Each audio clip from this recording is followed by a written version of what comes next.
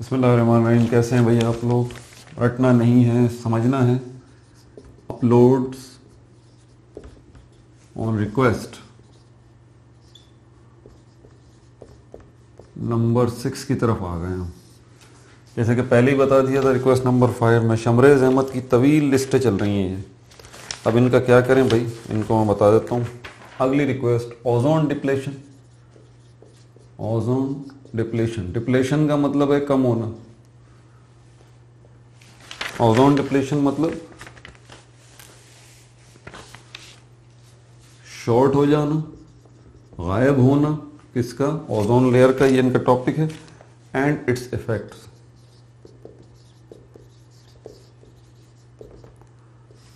ozone depletion and its effects ozone का कम होना और इसके असरात क्या पड़ रहे हैं? इसको डिस्कस करेंगे इस टॉपिक के अंदर। सबसे पहले ओजोन देख लीजिए। बल्कि ये बताता हूँ, ये आपकी अर्थ है, ठीक है, और ये आप ऊपर खड़े हुए हैं इसके। माफ़ कर दीजिएगा, अगर आपको कुछ अच्छा ना बनाया हो तो। और फिर आप यहाँ से एक एयरलिफ्ट के ज़रिए ऊपर चले जाते हैं, जहाज़ में यहाँ आ जाते हैं, और उसके बाद फिर आप बिल्कुल आपके एटमॉस्फेयर का तकरीबन एंड होने वाला होता है। तकरीबन एंड तो नहीं, आगे नीचे पीछे। यहाँ पर आपको नज़र तो नहीं आती। सपोज़ करते हैं आपको नज़र आ जाती है। एक कवरिंग पूरी की पूरी अर्थ के जैसे कि हम एक गिलाफ नहीं चला देते, पूरी कवरिंग कर देते हैं, गोल। हमारी अर्थ तो ओवल इन शेप है ना तो अब इस पर तो बना नहीं सकता। जैसे सपोज़ करें, कैसे? पूरी अर्थ के गिर्द एक इनविजिबल कवरिंग है लेयर मौजूद है, ठीक है? कौन सी गैस की मौजूद है वो? ओजोन गैस की ओजोन गैस की। इसका फॉर्मूला है ओ टू ओ थ्री इसका फॉर्मूला है। ये आप देखते हैं। ठीक है?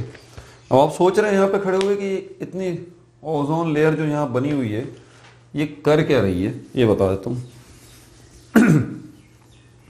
हमारी जो सनलाइट है ना, जो आ रही है, ये तो आपको पता होगा कि विब ग्योर इसको हम कहते हैं विब ग्योर विब ग्योर पता है ना? इससे बनता है वॉयलेट इससे इंडिगो और इससे क्या बनता है? ब्लू और इससे ग्रीन और इससे येलो और इससे ऑरेंज कितने हो गए? V I B G Y O और इससे रेड ये क्या है? ये रेनबो कलर्स हैं. आपकी सनलाइट को अगर मैं प्रिज्म से टच करता हूँ, प्रिज्म में से सनलाइट गुजरते हैं तो आप देखें, ये सेवन कलर्स आपको नज़र आते हैं यहाँ पर। किया होगा ना, छोटी क्लासेस में एक्सपेरिमेंट प्रिज्म लेके जो है वो सनलाइट के आगे रखा तो सेवन कलर्स आपको नज़र आने लगे। तो सिर्फ़ सेवन कलर्स ही नहीं होते, ये याद रहे। दो ऐसे कलर्स होते हैं, उनको कलर कहना तो ठीक नहीं। दो ऐसी रेज होती हैं जो कि इनविजिबल होती हैं, आपको नज़र नहीं आती। क्या है? वो इनविजिबल है। आपको नज़र नहीं आती। वो दो कौन सी हैं? टोटल नौ होती हैं। सेवन ये हो गई और दो वो इनविजिबल टोटल नाइन हो गई। ये कौन सी हैं? दो जो इनविजिबल हैं। इनमें से एक जो है हमारे पास अल्ट्रा वायलेट, उसका नाम है अल्ट्रा वायलेट, और दूसरी हमारे पास इंफ्रारेड। इंफ्रारेड। ये दोनों रेस जो है वो इनविजिबल है। इनमें से ये जो अल्ट्रा वायलेट है हमारे लिए डेंजरस है अल्ट्रा इससे हमें स्किन कैंसर हो सकता है। स्किन कैंसर हो सकता है। अब क्या करें? इस अल्ट्रा को रुकना चाहिए। हमारे पास ज़मीन पर ये लाइट जो आ रही है, ये सेवन लाइट्स का मजमुआ है। नहीं, बल्कि नाइन लाइट्स का मजमुआ है।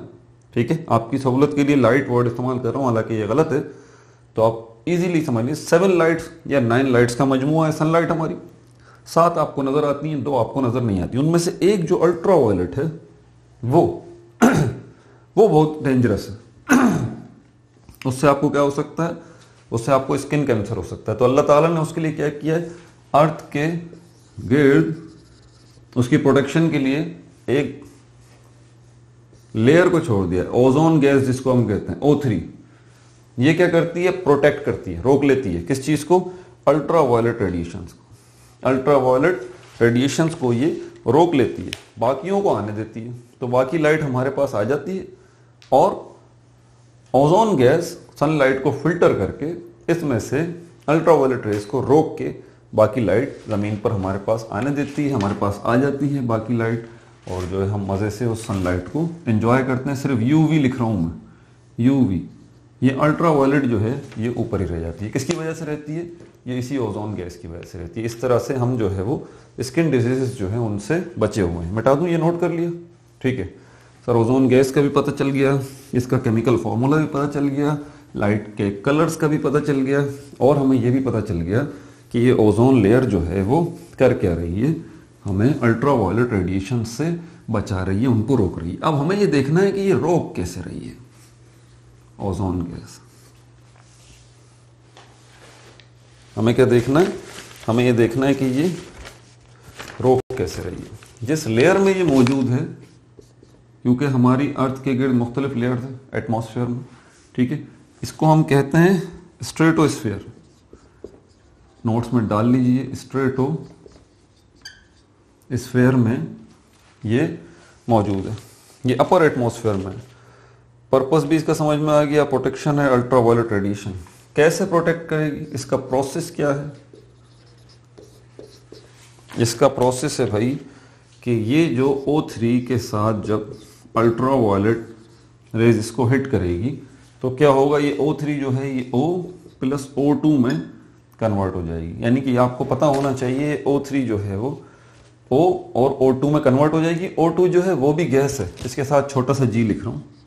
ये मॉलिकुलर फॉर्म में और ये ओ जो है, ये भी गैस है ऑक्सीजन गैस, ये एटॉमिक फॉर्म में। तो इसने इसको फिर रोक लिया, आगे नहीं जाने दिया, ठीक है? अब यहाँ पर प्रोसेस भी आपको समझ में आ गया। थोड़ी देर बाद क्या होगा, यही ऑक्सीजन का एक एटम दोबारा ऑक्सीजन के मॉलिक्यूल से मिलके दोबारा O3 बना लेगा। दोबारा ये हो, क्योंकि आप कह सकते हैं ना कि सर चलें, ये तो हो गया। अल्ट्रावायलेट रेज आई, इससे टकराई ख़त्म हो गई और इसको भी तोड़ दिया इसने O और ओ टू में। तो इस तरह से तो धीरे धीरे ये ओ थ्री ख़त्म होता चला जाएगा क्योंकि O3 से बन क्या रहा है? O एंड O2 तो इसको ख़त्म हो जाना चाहिए। नहीं भाई, ये दोबारा कंबाइन होके ये बन जाएगी। ठीक हो गया? अच्छा उसके बाद चलते हैं। इसको डिटेक्ट कब किया गया? ये मिटा दूँगा। ठीक हो गया।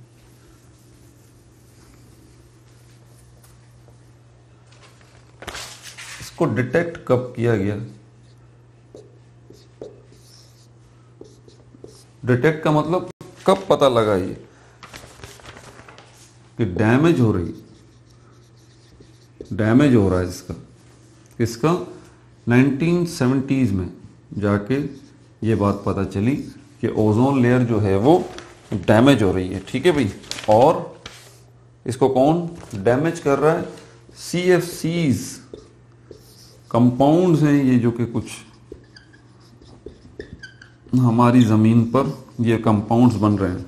सी एफ़ सीज इनके फुल वर्ड क्या है? Chloro fluoro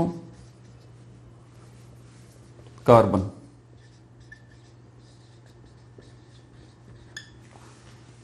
chloro fluoro carbon C F Cs इनको और फैम में कहा जाए यानी कि कंपाउंड एक नहीं है ये। सी एफ़ सीज पहले बता दूँ आपको। ये एक लिस्ट है। बहुत सारे किस्म के कंपाउंड्स हैं। इनको कलेक्टिवली जो है वो सी एफ़ सीज कहा जाता है। ये वो कंपाउंड्स हैं। और इनमें क्या मौजूद है? इनमें क्लोरो फ्लोरो यानी कि क्लोरीन मौजूद है। फ्लोरीन मौजूद है और कार्बन मौजूद है। क्लोरीन फ्लोरीन और कार्बन ये क्लोरीन फ्लोरीन और कार्बन मिलकर ये सी जो है वो बनाते हैं। ये नुकसान पहुँचा रहे हैं सी एफ़ किसको? इस ओजोन लेयर को नुकसान पहुँचा रहे हैं ये। समझ आ गई बात? कैसे पहुँचा रहे हैं ये बताता हूँ मैं आपको। मिटा दूँ? मिटा दूँ। तो हमने प्रोसेस देखा क्या? कि अल्ट्रावायलेट रेडिएशंस जो आ रही हैं वो O3 से टकरा रही हैं ना कि O से और ना ही O2 से। किससे टकरा रही हैं वो आके? O3 से। बस ठीक है रास्ता तो रुक गया ना उनका। अब यहाँ पर क्या है? एयर में जाने के बाद सी एफ़ सीज जैसे कि मैंने कहा सी एफ़ सीज इनमें क्या मौजूद है? क्लोरीन भी मौजूद है, फ्लोरीन भी मौजूद है, कार्बन भी मौजूद है। ये क्लोरीन जब ऊपर जाती है और O3 के साथ रिएक्ट करती है, क्लोरीन, ये वो कंपाउंड्स हैं जो कि हम इस्तेमाल कर रहे हैं। किन में इस्तेमाल हो रहा था? ये अब नहीं हो रहा। ये आपके रेफ्रिजरेटर्स वगैरह में एरोसोल्स में बहुत सारे आपके आइटम्स थे घरेलू, और इसके अलावा फैक्ट्रीज में ऑफ़िस में इस्तेमाल होने वाले बहुत सारे आइटम्स हैं। जैसे कि रेफ्रिजरेशन खास तौर पर। जिसमें रेफ्रिजरेटर आ जाता है, आपका फ्रिज आ जाता है एसी आ जाता है, ये सारी चीज़ें जो कूलिंग प्रोसेस के लिए इस्तेमाल हो रही हैं, उनमें ये सी का इस्तेमाल किया जाता था। लेट नाइनटीन सेवेंटीज़ के बाद जब ये डिटेक्ट हुआ धीरे धीरे इसको फिर रिप्लेस किया गया, इसको ख़त्म किया गया और अब ये रेफ्रिजरेटर्स वगैरह में कहीं भी जो है, ये सी एफ़ सीज़ वगैरह का इस्तेमाल नहीं होता बैन है ये। ठीक है? क्यों? क्योंकि इसी की वजह से, इससे एक चीज़ प्रोड्यूस हो रही है, ये क्लोरीन प्रोड्यूस हो रही है। और यही क्लोरीन ऊपर जा रही है ये हमारी अर्थ, ये ओ थ्री मौजूद है। यहाँ से कौन जा रहा है? ये क्लोरीन के एटम्स जा रहे हैं। ये इसके साथ जाके रिएक्ट कर रहे हैं। और उसके बाद क्या बन रहा है? यहाँ पर ये इसको तोड़ देता है। इसको हम देखते हैं C L O C L O और O two C L O ये कंपाउंड बनेगा और ऑक्सीजन गैस का मॉलिक्यूल बनेगा। ऑक्सीजन गैस का मॉलिक्यूल बनेगा। अच्छा ठीक है। ये चेन रिएक्शन है।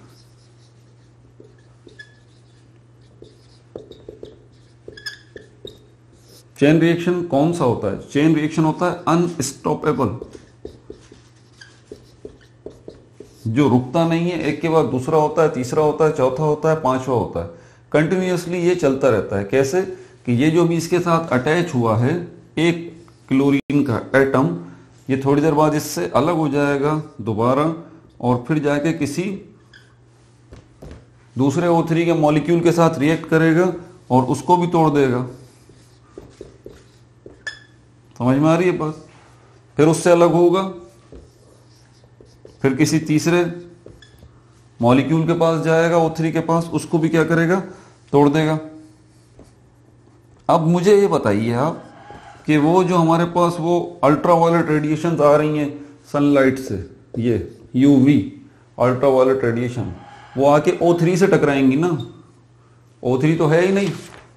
क्लोरीन भाई ने जो है वो सारे ओ थ्री धीरे धीरे डिस्ट्रॉय कर दिए। एक क्लोरीन का एटम जो है वो, देखें आप कितने ओ थ्री के एटम मॉलिक्यूल्स को डिस्ट्रॉय कर रहा है।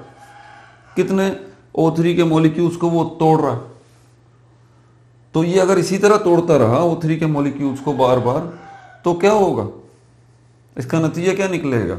O3 के मॉलिक्यूल्स जो है, वो अपर एटमोसफेयर में खत्म हो जाएँगे। तो ये अगर खत्म हो जाएँगे तो अल्ट्रावायलेट रेडिएशन को कौन रोकेगा? अल्ट्रावायलेट रेडिएशन हमारे पास आएँगी। हम सनलाइट में बैठे होंगे, हमारी स्किन से स्ट्राइक करेंगी और हमारी स्किन अल्लाह ना करे स्किन कैंसर हो सकता है इससे। समझ में आ रही है बात? तो बारा लेट नाइन्टीज में इसको देखा गया। और उसके बाद फिर क्या? इसके इफेक्ट्स में लिख दूँ, क्योंकि साथ साथ ये नोट्स भी बना रहा हूँ मिटा दूँ? मिटा दें सर नोट कर लिया साथ साथ इसके आपके नोट्स भी बन रहे हैं।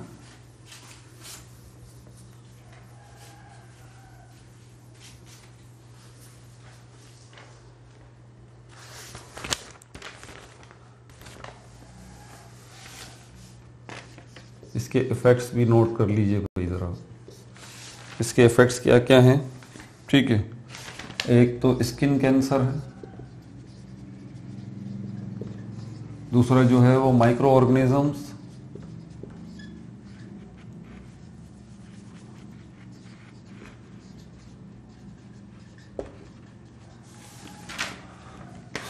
माइक्रो ऑर्गेनिजम्स और तीसरा इफ़ेक्ट इसका है ग्लोबल वार्मिंग का। जी। Global global warming.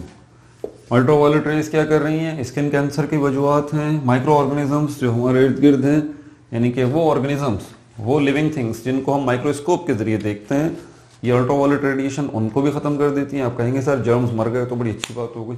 बैक्टीरिया भी मर जाएँगे, वायरस भी मर जाएँगे तो हम तो बीमार ही नहीं होंगे। ये तो अच्छी चीज़ है। कोई, चलो आने दो। नहीं भाई बहुत सारे ऐसे माइक्रो ऑर्गेनिज्म जो अल्लाह ताला ने बनाए हैं, वो आप लोगों के फ़ायदे के लिए हैं। अब ये तो बायोटेक्नोलॉजी का टॉपिक है, इसको फिर कभी डिस्कस करेंगे। इसके अलावा ग्लोबल वार्मिंग क्या है? आपकी अर्थ का टेम्परेचर जो है वो ग्रेजुअली बढ़ता जा रहा है। जी इंक्रीज हो रहा है। तो टेम्परेचर जब इंक्रीज होगा तो उससे क्या होगा? जो माउंटेन्स हैं उन पे क्या है? आइस है। वो क्या होगी? वो मेल्ट होगी। पिघलेगी मेल्ट होगी तो क्या होगा? फ्लड्स सैलाब आएँगे ग्लोबल वार्मिंग हमारा टॉपिक नहीं है, सिर्फ़ हल्का सा समझा रहा हूँ आपको कि अगर आपके अर्थ का टेम्परेचर बढ़ेगा तो उससे नुकसान क्या क्या होंगे। ठीक है भाई, और मेरे ख्याल में इसमें ऐसा कुछ भी नहीं है। ठीक है शमरेश भाई, आपकी दूसरी रिक्वेस्ट ओजोन डिप्लेशन और उसके इफेक्ट्स ये भी हमने डिस्कस कर लिए अपना बहुत ज़्यादा ख्याल रखिए कोई चीज़ अगर समझ में नहीं हो तो कमेंट्स में मुझे बताइए। Again no like no subscribe only Cheiro.